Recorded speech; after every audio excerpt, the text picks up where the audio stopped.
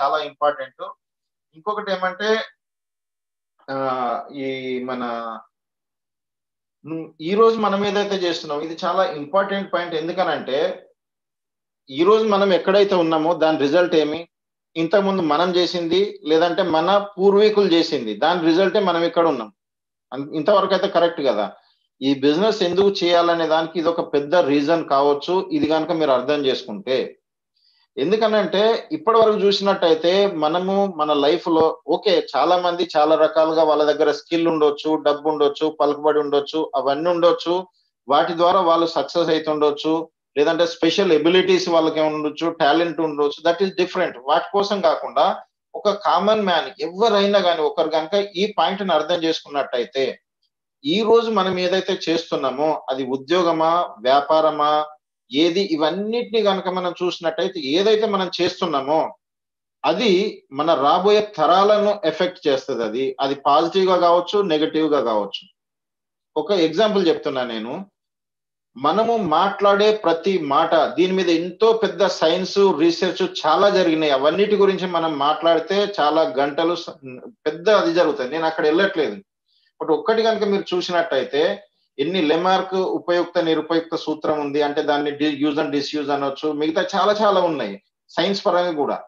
So మనము మాట్లాడుతున్న మాటలు కావచ్చు మనం ఆలోచిస్తున్న ఆలోచనలు కావచ్చు మనం చేస్తున్న పనులు కావచ్చు మన బిహేవియర్ కావచ్చు ఇది మన యొక్క సెల్ఫ్ ఇమేజ్ మీద ప్లస్ మన యొక్క పర్సనాలిటీ మీద యాజ్ ఏ హోల్ మన జీన్స్ మీద కూడా ఎఫెక్ట్ అవుతుంది ఆ జీన్స్ తర్వాత రాబోయే జనరేషన్స్ ఉంటాయి కదా వాటిని కూడా ఎఫెక్ట్ చేస్తుంది.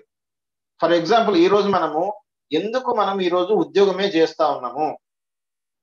ఈ రోజు ఎందుకు మనం పోయి దుకాణంలో అదే దుకాణంలో బయటనే కొనుక్కుంటున్నాము?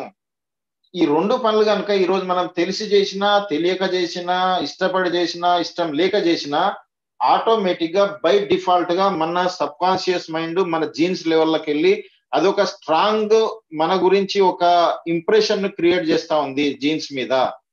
ఇప్పుడు ఒక జిరాఫీని తీసుకున్నట్టయితే దానికి ఆకులు కింద తినడానికి అందుతలేవు కాబట్టి అది పైన మేసుకుంటూ మేసుకుంటూ దాని మెడ పొడుగైంది అది. ఎందుకంటే అది అదే చేస్తూ పోయింది అదే ఆలోచించుకుంటూ పోయింది కాబట్టి దాన్ని అట్లా అయింది. అదే పాము కాళ్ళు ఉండేది మాయమైపోయినాయి మనిషికి తోక ఉండేది బంద్ అయిపోయింది. ఇదంతా సైన్స్ బేస్డే కదా.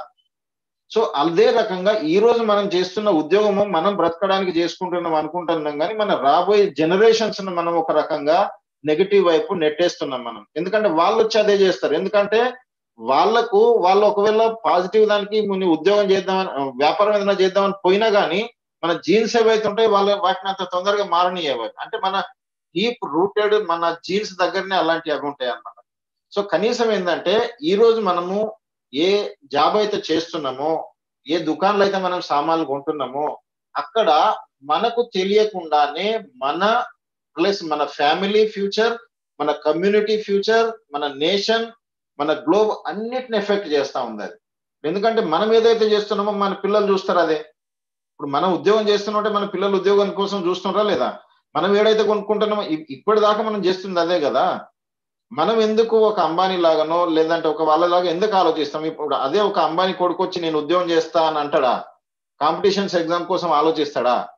అంటే మనం చేసే పని మనమే కాకుండా మన ఆలోచనలు మన జీన్స్ మన సబ్ కాన్షియస్ మైండే కాకుండా మన రాబోయే మన ఫ్యామిలీ మెంబర్ని కూడా ఎఫెక్ట్ చేస్తుంది ఫస్ట్ ఆ తర్వాత మన చుట్టుపక్కల ఉన్నటువంటి మనుషులు మన కమ్యూనిటీ వాళ్ళు ఉంటారు కదా వాళ్ళని ఎఫెక్ట్ చేస్తుంది.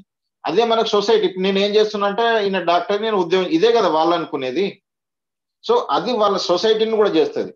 సో అదే రకంగా మన నేషన్లో కూడా. ఎంప్లాయ్మెంట్ ఇప్పుడు మేము చూస్తా ఉన్నాం. మా దగ్గర ఇంతమంది బయటికి వెళ్తారు కదా. ఇప్పుడు అదే ఆయుర్వేద్లో నేనంటే ఒక ప్రాక్టికల్ అది చెప్తున్నాను. ఇంత చదువు చదివిన తర్వాత ఇంత నాలెడ్జ్ ఉన్న తర్వాత అంటే ఒక్కొక్కరు మనం ఇప్పుడు యూజీ పీజీ పిహెచ్డి చేయడానికి దాదాపుగా ఆరేండ్లు మూడేండ్లు మూడేండ్లు పన్నెండేండ్లు బేసిక్ ఇరవై నాలుగు ఇరవై ఐదేళ్ళు చదివిన తర్వాత కూడా అంటే పన్నెండేళ్ళ ప్రొఫెషన్ ఎడ్యుకేషన్ తర్వాత కూడా మళ్ళీ వెళ్ళి జాబ్ చేయాలంటారు. అంటే దాని అర్థం ఏమి? ఆ టైంలో వాళ్ళు సరిగా నేర్చుకోవాల్సింది నేర్చుకుంటలేరు వాళ్ళకి ఆ కాన్ఫిడెన్స్ లేదు. లేదంటే జాబ్ చేయడం అనేదే పెద్ద టైటిల్ దాని ద్వారానే ఈజీగా సింపుల్గా బతుకో ఇవన్నీ ఎక్కడి నుండి వచ్చినాయి అవి? చుట్టుపక్కల అక్కడిక్కడ చూస్తేనే కదా వచ్చినాయి. వాళ్ళు ఎందుకు? ఇప్పుడు అదే అదే ఇండస్ట్రీ ద్వారా ఏమి చదవని వాళ్ళు వాళ్ళు వీళ్ళకంటే ఎన్నో పెద్ద కొన్ని ఇరవై వేల కోట్లు అంత పెద్ద పెద్ద చేసి వీళ్ళని ఉద్యోగాలలో పెట్టుకుంటున్నారు. నేను చెప్తున్నా ఇప్పుడు ఒక బాబా ఉన్నాడు ఆయన దగ్గర ఏం పిహెచ్డి డిగ్రీ ఉంది ఆయన దగ్గర ఏమి పీజీ కోర్సులు ఉన్నాయి ఏమి గ్రాడ్యుయేషన్ ఏడ సర్టిఫికెట్ ఉంది ఆయనకి? కానీ ఆయన ఈరోజు ఒక పెద్ద అది పెట్టేసిందంటే ఇరవై వేల కోట్ల టర్న్ ఓవర్ చేసుకుంటా ఆయుర్వేద వాళ్ళ మంచి మంచి వాళ్ళకి పిలిచి ఉద్యోగాలు ఇస్తాడు ఆయన. అంటే ఇదేమి ఇదంతా అంటే వాళ్ళ యొక్క మైండ్ సెట్ అన్నమాట. వాళ్ళ ఎక్స్పోజరు వాళ్ళ అట్మాస్ఫియరు వాళ్ళ అసోసియేషన్ ఇవన్నీ అన్నమాట.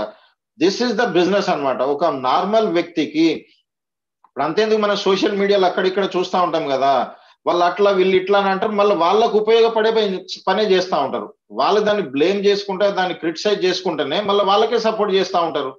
ఇప్పుడు ఒక ఒక సినిమా తీసేవాళ్ళు ఆయన బాగా డబ్బు ఉన్నది ఇది అది లేదంటే ఒక పెద్ద ఏదైనా ఉద్యోగం చేసి బిజినెస్ చేసి అదైనరు కానీ మళ్ళీ పోయి మనం వాళ్ళనే ధనవంతులను చేస్తున్నాం కదా అదెందుకు మనకంటూ కూడా ఒకటి కావాలని ఎందుకు ఆలోచిస్తారు లేదంటే దట్ ఈస్ ద మన పాస్ట్ ప్రోగ్రామింగ్ మన జీన్స్ మన మైండ్ సెట్ మన సబ్ కాన్షియస్ మైండ్ తరతరాలుగా వస్తుంది అనమాట సో వాటిని మార్చడం కోసమైనా కానీ కనీసం ఏంటంటే ఈ బిజినెస్ను టేకప్ చేసి ఎవరైతే వాళ్ళ రాబోయే ఫ్యూచర్స్ మారాలంటే ఏదో ఒక వ్యక్తి ఎవరో ఒకరు వాళ్ళు ఈ దాన్ని చేంజ్ చేయాల్సి ఉంటది.